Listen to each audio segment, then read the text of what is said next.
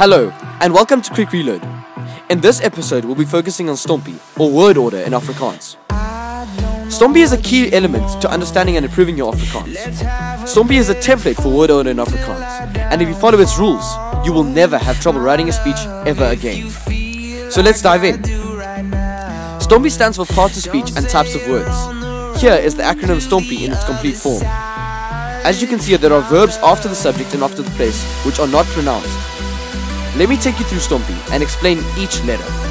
But first you must understand that each letter represents a word in a sentence. So, the S stands for subject. The subject is the person or thing doing the action in the sentence. For example, ons, ek, and hulle can be subject words. You must remember that context is very important however. The next letter is the silent V, and this stands for verb 1.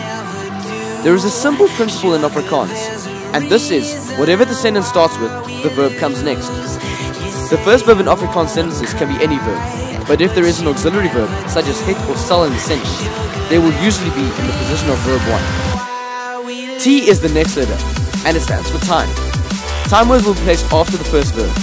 You can usually tell time words apart from other words by them mentioning a time of day or a number that indicates hours or minutes.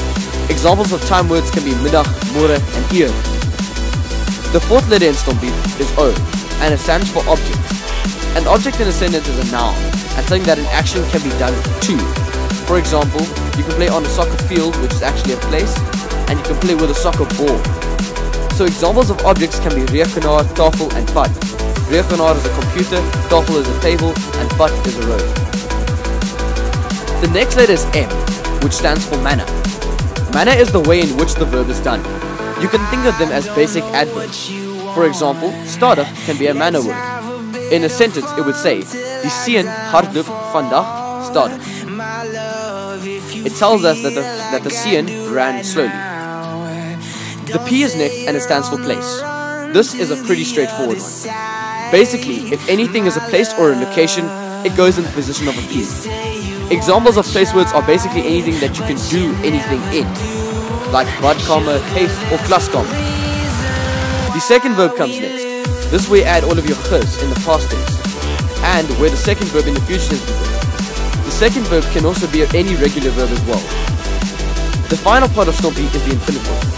This is a very distinguishable part because an infinitive is where you have an om and a ter in the second part. An infinitive looks a lot like a sentence. Here is an example om cricket te. So it tells us that he's going to play cricket. Let me give you a sentence and we can then identify the different sections of STOMPI. Campbell sal cricket op die veld speel. It is very important to note that not every sentence has to have every part of STOMPI. We can now see that Campbell is the subject, sal is verb 1, cricket is the object, op die veld is the place, and speel is verb 2. That is all we have for you in this video.